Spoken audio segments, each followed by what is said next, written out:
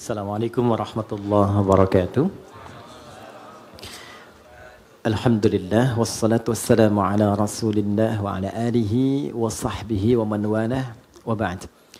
Teman-teman, tanpa kecuali yang pertama kita mengawali dengan bersyukur kepada Allah Subhanahu wa taala yang telah memilih kita untuk berada di tempat ini guna mempelajari sebagian dari tuntunan agama kita. Semoga keberadaan kita yang terpilih oleh Allah berada di sini di tengah kesibukan beraktivitas memberikan keberkahan lebih kepada kita semua dan mengantarkan kita pada kebahagiaan yang menyukseskan. Itulah kuncinya eh, kenapa di setiap pembuka itu sering kali ada keluar kata alhamdulillah.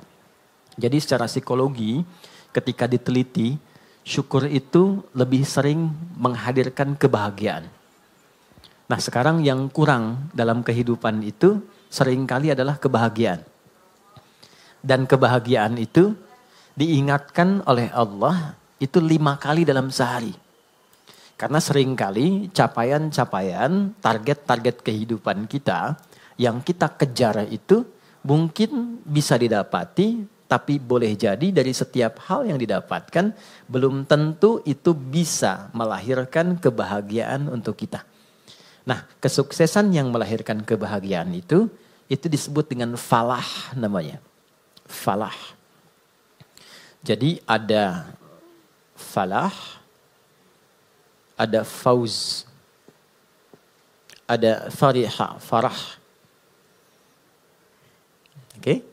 Ini fauz ini turunannya ada faiz, fauzan, faizin.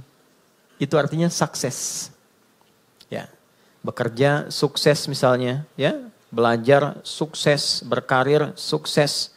Itu disebut dengan faz, orangnya faiz. Fauzan, faizin, pemiliknya. Jadi kalau ada yang namanya fauzan, faizin, faiz, faizah, itu artinya orang yang diharapkan sukses dalam aktivitasnya. Tapi kesuksesan itu belum tentu melahirkan ketenangan, kebahagiaan.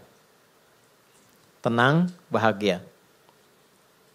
Jika ada orang yang dia merasakan ketenangan, kebahagiaan. Walaupun mungkin tidak sukses mencapai apa yang ia tempuh dalam karirnya. Dia punya bisnis, dia nggak sukses, tapi perasaan bahagia aja, tenang aja gitu. Ya, dia belajar IPK pengen 4 jatuhnya 3,2 misalnya. Nggak nyampe tapi tenang aja. Ya, sukses yang belum tentu didapatkan dari kebahagiaan. Farah namanya. Sifatnya Farhan. Farah, Farah Queen, ya Muhammad Farhan. Itu. Ya, orang yang diharapkan bahagia dalam hidupnya. Walaupun belum tentu sukses. Oke, pilih mana? Kaya tapi gelisah atau miskin tapi tenang? Kaya tapi tenang. Oke. Oh ya, ya. ya. Yang malu-malu jawab pengen sebetulnya kan. Oke, nah Allah tuh maha tahu. Jadi nggak harus ditanya, Allah tuh maha tahu. Sebelum dijawab, sudah diharapan. Sebelum mimpi, sudah dibangunkan. Makanya Allah bangunkan kita dari mimpi, naikkan harapan jadi kenyataan. Diingatkanlah lima kali dalam sehari. Ya kan? Padahal mandi aja dua kali kan? Makan tiga kali. Tapi untuk sukses dan bahagia, lima kali diingetin. Gabungan dua ini disebut falah namanya. Dan ini, pengingat ini, lima kali ini, tidak pernah berhenti dalam 24 jam diperdengarkan di telinga kita. Telinga bahasa Arabnya itu udhun. Jamaknya karena banyak yang punya telinga dijamakkan adhan. Adhan. Kenapa adhan disebut adhan? Karena inilah satu-satunya panggilan di muka bumi yang didengar oleh orang yang masih punya telinga dan pendengaran. Itulah rahasianya kenapa waktu azan itu ada perbedaan di setiap tempat. Coba, kita sekarang di tanah kusir misalnya kan. Geser dikit tanah abang. Beda kan waktunya kan? Terus tanah abang yang di Jakarta dengan tanah abang yang di Palembang beda waktu kan? Palembang ada tanah abang juga kan? Ada, beda. Terus kalau kita riset, itu semua tempat di bumi waktunya memiliki waktu khusus untuk adzan. Setiap tempat berbeda karena Allah menginginkan lafaz adzan terdengar selama 24 jam di semua tempat. Dan cuma ini di mana ada agama yang punya panggilan kesuksesan, kebahagiaan, panggilan ritual, intelektual, fisikal sekaligus diingatkan 24 jam dalam sehari. Dan ini pasti bukan buatan manusia, karena nggak ada satupun manusia membuat sebuah panggilan seperti ini. Mustahil. Nah ini menunjukkan satu-satunya kebenaran risalah Islam. Tapi poinnya adalah substansinya bukan karena adhannya. Allahu Akbar, Allahu Akbar. Oh sholat nih. Poinnya bukan itunya, sholat itu wasilahnya. Dari kata silah, terkoneksi dengan kuat. Yang tak terpisahkan. Kita kumpul sekarang, sifatnya disebut silah. Substansinya rahmat. Kasih sayang, berbagi. ya Digabungkan silah dengan rahmat jadi silaturahim. Silah itu artinya hubungan pertemuan yang menghubungkan sifat kasih yang dalam sehingga ketika berpisah itu masih ingat. Bukan saat kumpul. Ya, Mas Dude ketemu Mas Baim sekarang nyapa, senyum, wajar orangnya ada. Itu belum silaturahim. Nanti ketika terpisah masih ingat tuh. Masih mengingatkan, masih WA, masih doain. Ya, masih punya harapan yang bagus, gitu kan? Nah, itu namanya silaturahim. Jadi silaturahim itu nampaknya bukan saat kumpulnya, saat pisahnya. Nah pertemuan ini melatih kita mengeluarkan aura-aura kebaikan yang terbawa saat kita berpisah. Itu poinnya. Ibadah yang melatih kita terkoneksi dengan Tuhan, dengan Allah, yang ketika kita selesai ibadah itu masih terhubung dan ingat dengan semua petunjuknya, itu disebut sholat namanya. Dari kata silah. Di sholat itu adalah wasilah untuk mengoneksikan kita dengan Allah yang punya segalanya. Yang punya akses Allah yang punya rizki Allah, yang punya kelapangan Allah, yang punya solusi Allah. Itulah yang menjadikan fitrah kita menyebut namanya saat punya kesulitan kan. Oke, saya sulit saya telepon si Fulan. Saya miss call si Fulan, nggak terangkat. Walaupun saya sering telepon dia, WA dia, bikin status tentang dia. Ketika punya kesulitan dia nggak jawab. Yang terakhir harapannya siapa? Ya, miss call saya terhadap Allah. Khairai yarah. May ya'mal mithqala dzarratin khairai yarah. Maka diberikan, ya Allah gimana cara saya terkoneksi dengan engkau? Allah ajarkan lewat sholat.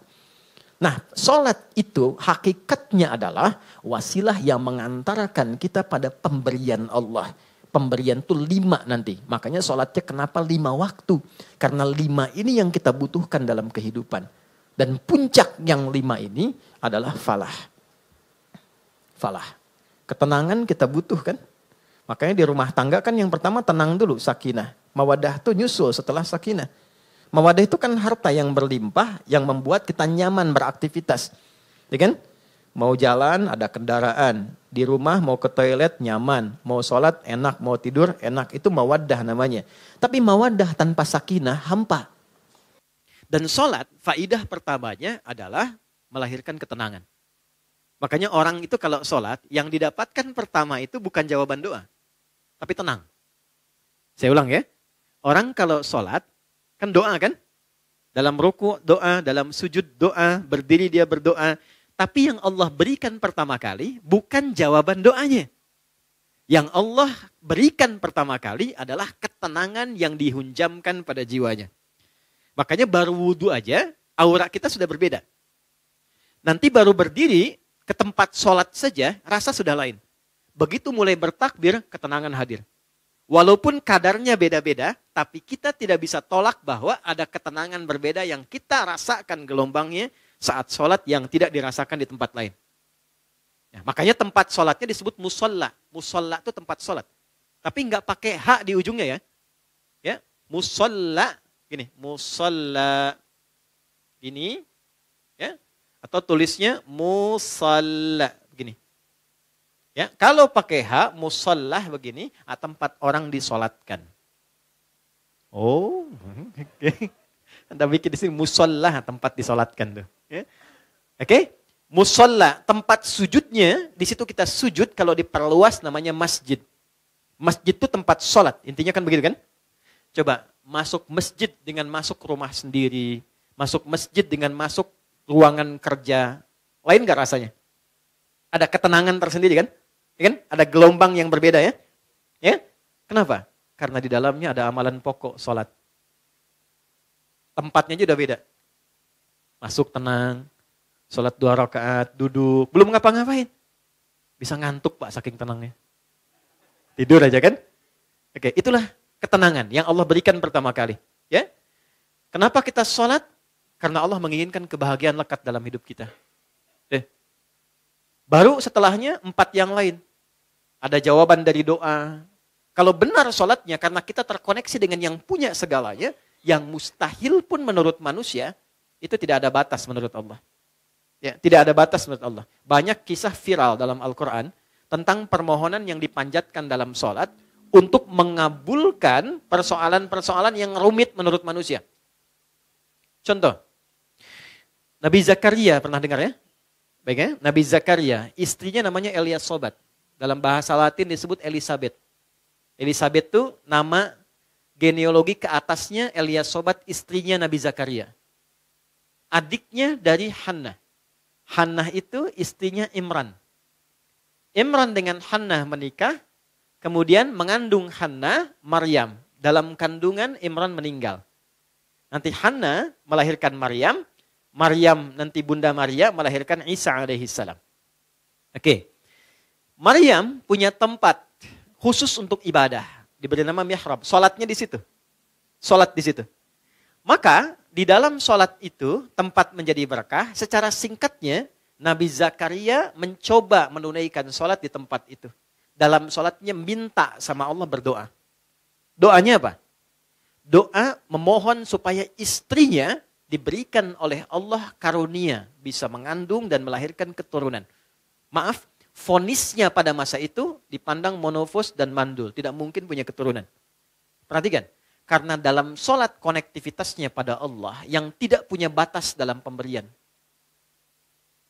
Anda minta pada manusia, punya keterbatasan.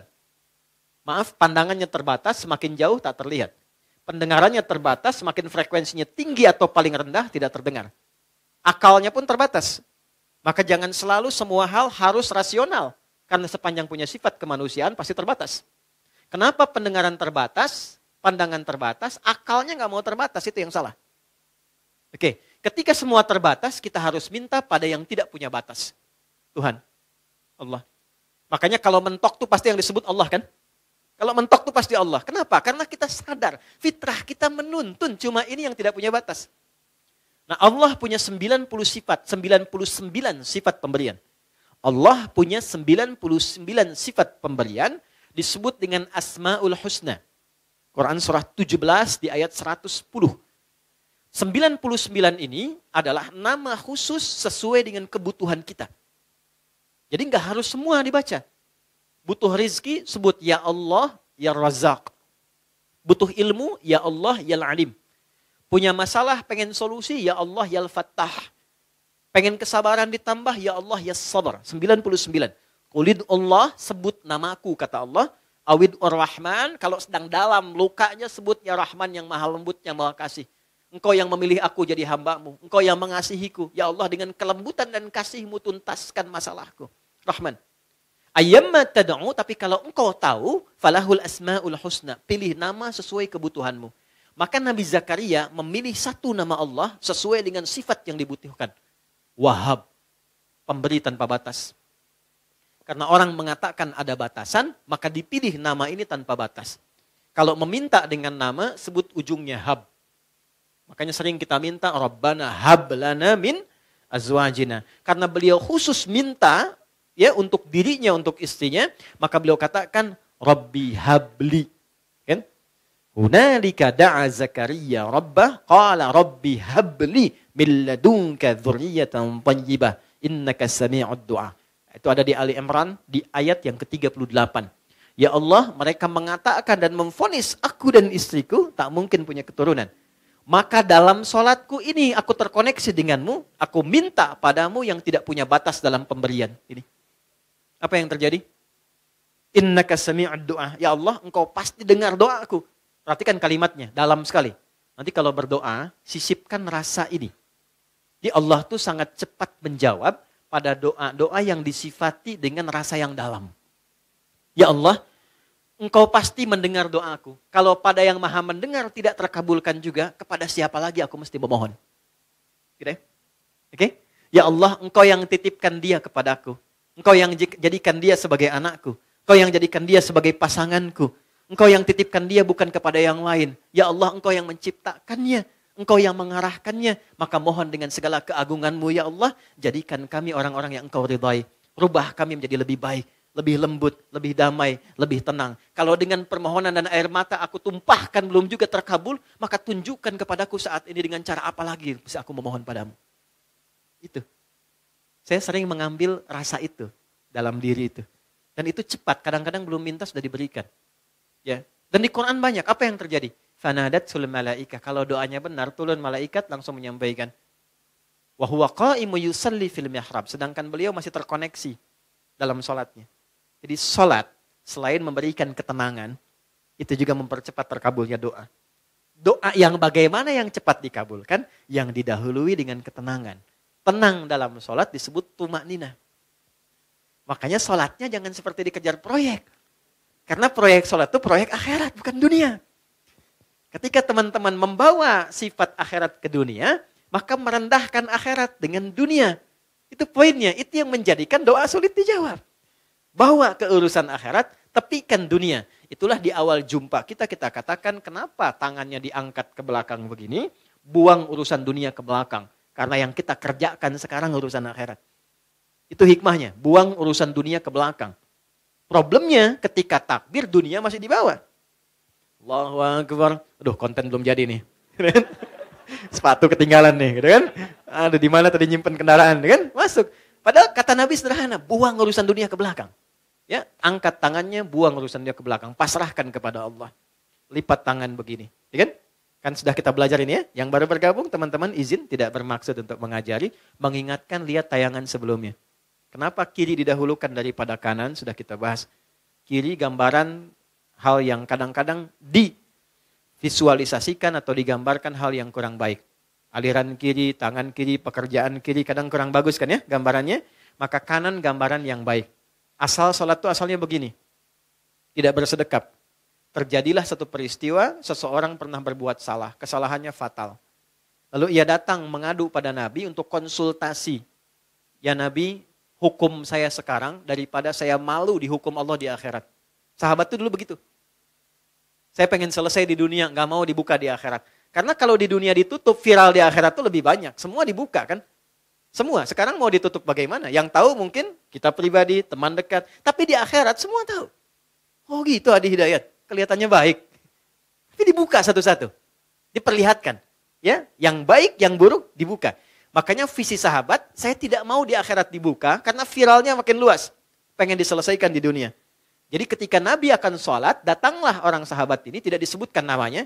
Kalau tidak disebutkan, perhatikan rumusnya ya, di tafsir, Quran dan hadis, kalau ada kejadian, tidak disebutkan siapa orangnya, kapan kejadiannya, tapi viral perbuatannya, ini ingin menunjukkan kesan bahwa perbuatan itu akan berpotensi lagi terjadi di masa depan dengan sosok yang berbeda, tapi dengan substansi yang serupa. Ya. Dia berbuat salah. Kita pernah salah nggak? Pernah. Ya? Ada orang dulu gibah. Pernah gibah nggak orang sekarang? Bahasa sekarangnya gosip. Ya kan? Oke. Okay. Mencela dulu ada. Sekarang ada nggak yang mencela? Ada. Tapi kan nggak disebutkan siapa dulu yang pernah mencela. Artinya celaan itu akan terjadi lagi di masa depan. Ya, masalah dengan kawan, masalah dengan tetangga, masalah suami istri, masalah dengan anak, masalah dengan ibu mertua. Enggak pernah disebutkan siapa tokohnya, tapi suratnya ada, ayatnya ada. Untuk memberikan kesan kalau terjadi, begini cara menyelesaikannya. Maka dia katakan, ya Rasulullah, hukum saya, saya salah. Hukum saya, saya salah. Tibalah waktu sholat. Kata Nabi, kita sholat dulu, nanti habis sholat, baru kita selesaikan. Maka saat sholat itulah turun Quran surah ke-11, Hud ayat 114. Aqimis salata tarafain nahar wa zulafam minal lail. Perhatikan, ini indahnya. Innal hasanati yudhibnas sayyiat. Tunaikan sholat, jangan tinggal. Tunaikan sholat, jangan pernah tinggal. Yang lima waktu itu. Apa yang dahsyat dalam sholat itu? Allah lompat dulu untuk menghibur hati kita. Gak ada orang yang tidak pernah salah, kata Allah.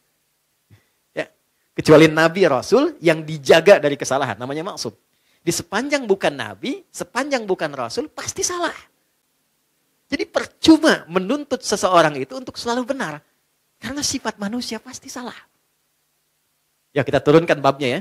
Ya, sambil contoh. Kami baru pulang dari Mekah dari Madinah. Terus kita belajar tuh di pelataran Masjid Nabawi, Masjidil Haram. Saya tarik sedikit aja ya, tarik sedikit aja. Nabi itu mengajarkan fikih parenting dengan keluarganya itu begitu indah. Gak ada ketegangan, gak ada kegaduhan, dan rata-rata canda. Makanya saya ngobrol dengan beberapa teman, saya bilang, kenapa sekarang kalau orang belajar parenting serius banget? Bawaannya tegang melulu gitu. Ini kewajiban suami, ini kewajiban istri, ini neraka, ini surga. Padahal yang ditampilkan oleh Nabi, kebanyakan 85 persennya itu canda semua. Karena memang kehidupan rumah tangga itu kehidupan bercanda. Nah ibu walahun. Canda. Saya teman-teman, kalau di rumah, itu seriusnya sama istri dan anak cuma dalam tiga hal. Sholat, Quran, kedua jangan maksiat. Jangan bohong, satu. Itu. Yang lainnya turunan-turunannya. Lebihnya canda. Anda boleh tanya sama istri saya. Kalau beliau tanya, istri saya tanya, pasti saya plesetin canda semua. Canda semua. Anak-anak canda semua. Ya semua canda. Kenapa? Karena kehidupan rumah tangga itu, itu nggak serius-serius amat. Karena si amat pun tidak serius. Banyaknya canda. Contoh gini, istri Nabi ada berapa? Sembilan. Ada yang lain? Jangan khawatir ya, saya nggak bahas bab poligaminya, tenang aja. Oke okay, ya. Istri Nabi sembilan yang berkehidupan, sebelas dengan beliau, satu yang milkul yamin. Ya. Pembahasan detailnya nanti. Singkatnya begini. Dari sekian itu, kenapa Nabi diizinkan menikah lebih daripada empat istri? Kenapa diizinkan? Saya sering sampaikan, saya sering sampaikan. Maaf, ini rahasianya teman-teman. Karena seluruh istri Nabi itu mewakili semua karakter perempuan di muka bumi. Itu rahasianya.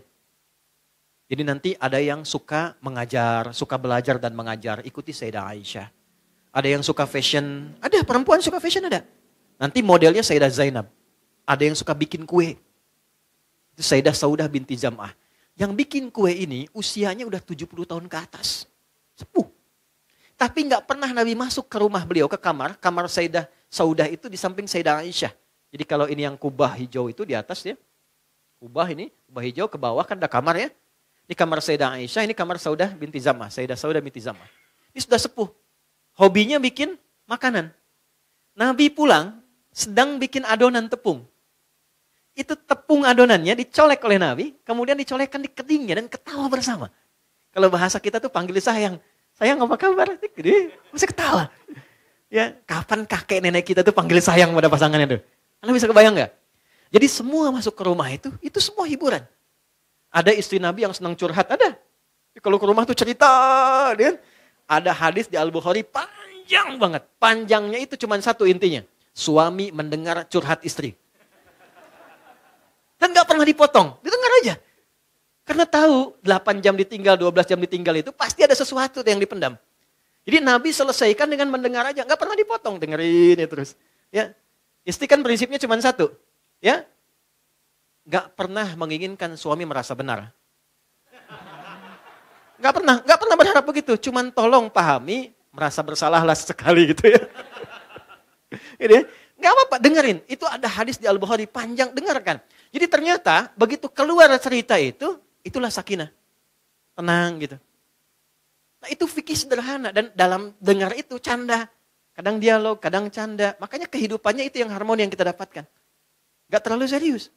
Nah itu yang saya maksudkan, hal-hal yang kita bisa tampilkan dalam Al-Quran dan kuncinya di mana? Sholat. Makanya semua kisah viral dari istri si Nabi itu selalu menyoroti sholatnya Nabi. Itu poinnya. Di sholat tuh bikin tenang. Sholat bikin bahagia. Sholat bikin terkabulnya doa. Gitu. Bukan cuma es krim. Ustaz punya hadiah nanti. Hmm? Boleh. Ini Ustaz punya dia. Oh, deh, nih. Bulan nanti sama matahari sekalian.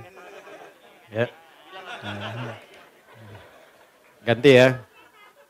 Iya. Nanti sama tante bulan bilang sama om matahari sekalian. Gimana? Alhamdulillah. Ya, Alhamdulillah. Anak gak jauh dari bapaknya.